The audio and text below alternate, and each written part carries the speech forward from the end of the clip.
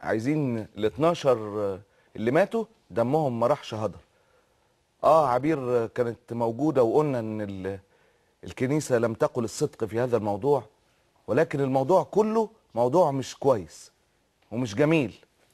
و و و وآسف إنه لا يستحق إن يموت فيه 12 فمن نفسنا نعرف ونعرف عين لام اللي هو رجل الأعمال عادل لبيب بعد ما نشر اسمه لم أبدأ بنشر اسمه في في مكان متورط فعلا أول رصاصة مين ضربها؟ الناس اللي راحت مين؟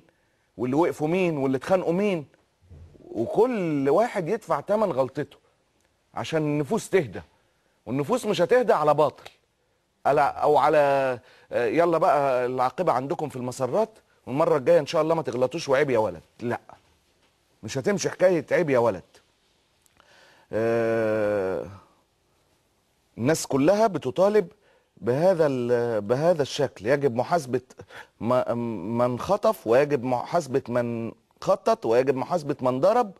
آه، ده طلب ال- الشعب في هذا التوقيت.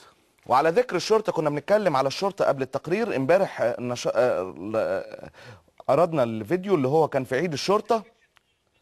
وال- وال- واللي أكد آه، فيه الرئيس السابق وحبيب العدلي إنهم قبضوا على الناس في كنيسة القديسين.